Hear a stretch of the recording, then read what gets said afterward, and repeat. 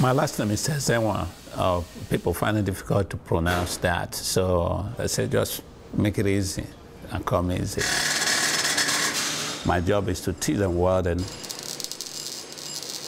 Easy's a great teacher. I like his teaching style. He really, uh, he really wants you to learn. He pours his heart into the program. I do a lot of one-on-one. What's up, Teddy? What's up, kid? Let me see what's going on there. He'll come weld with us. Got a pause on the sides there. I want to make sure that um, they get the principle side of welding and the application side of welding.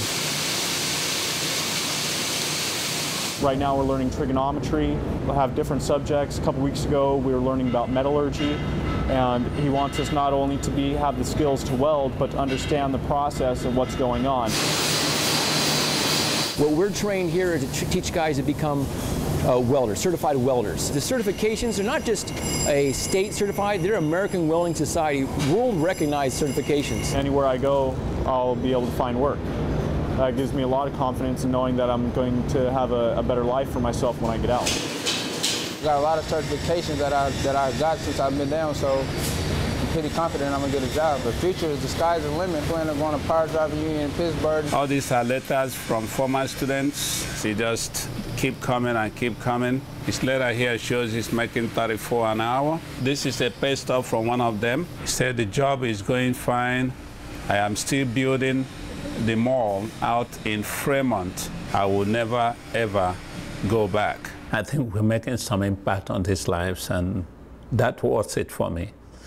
If I can see one of them go home and grab a job, I'm happy. If you give a man a skill set like this here, he'll have a, a decent paycheck. He won't want to return to where he was at. They are predicting that in the next four years there'll be shortage of welders in U.S. And then we will have no choice but to import welders from overseas. It's expensive. It's an expensive program.